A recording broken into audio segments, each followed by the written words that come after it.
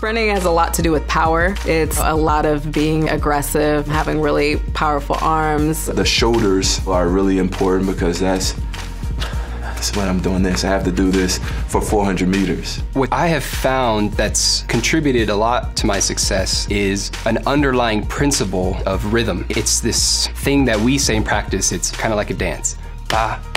Going into the final phase of an event where you need to explode, that's what you want. The comparison of being a sprinter from an able-bodied athlete to a Paralympic athlete, you know, the, the major thing is when you push out of the blocks and you put your first step down, you know, you're putting as much force as you can in that moment, but you have no muscles pushing against you. The first five or six steps are hard to control because you're not getting a lot out of the foot.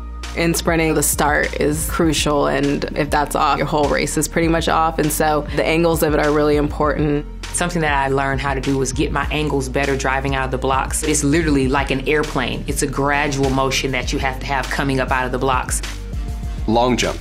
Somebody's running down the runway and they explode off that left leg. And actually, if you do it right, you really don't feel anything on your takeoff leg.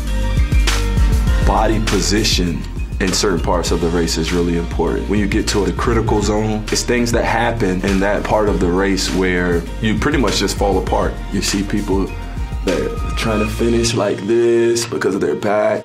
As you start decelerating, the blade starts responding a little bit differently. So you want to really maintain your posture while you're entering into your deceleration phase so then you're not wasting energy as you cross the line. Once you kind of invest all this time in training, you don't have to work as hard. You just have to work smarter and just have a little bit more quality rather than quantity. I love the challenge. Nothing for me like getting to the end of my race, knowing that I'm the best in the world. It's nothing like it.